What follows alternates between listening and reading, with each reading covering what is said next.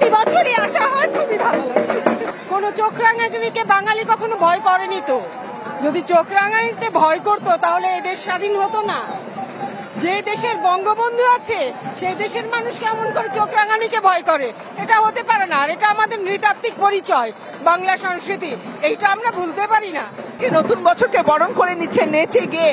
অনুভূতি অনুভূতি অনেক অনেক মজার। মানে এখানে না আসলে বোঝা যাবে না। এখানে আসতে হবে বুঝতে হবে। আসলে অনেক মজার অনুভূতি। সাম্প্রদায়িক চেতনার যে বিষয়বস্তু বাঙালি হাজার বছরের ভিতরে অসাম্প্রদায়িক জাতি। যে বাংলায় জন্ম নিয়েছে লালন ফকির নজরুল রবীন্দ্রনাথ। সকলকে জানাই নববর্ষের শুভেচ্ছা। তার সাথে আপনাকেও অনেক অনেক ধন্যবাদ। কেমন লাগছে? খুব ভালো লাগছে আপু। প্রতি বছরই আসা হয় খুবই ভালো লাগছে। অনুভূতিটা জানেন বলে নতুন বছরকে বরণ করে নিতে নতুন বছরকে বরণ করে নিতে খুবই খুবই ভালো লাগছে। সারা বছর আমরা অপেক্ষা করে থাকি এই দিনটির জন্য। উৎসব মুখের পরিবেশ সৃষ্টি হচ্ছে খুবই ভালো লাগছে।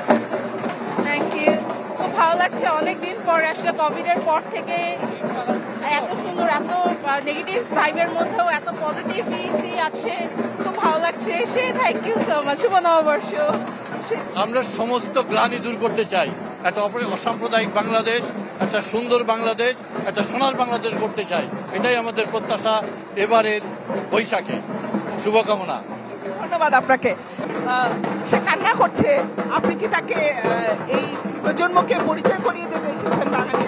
হ্যাঁ নিশ্চয়ই। আমরা বাঙালি। আমাদের তো বাঙালির উৎসবগুলো উৎসবগুলোতে আমাদের বাচ্চা কাচ্চাদেরকে নিয়ে আসা দরকার।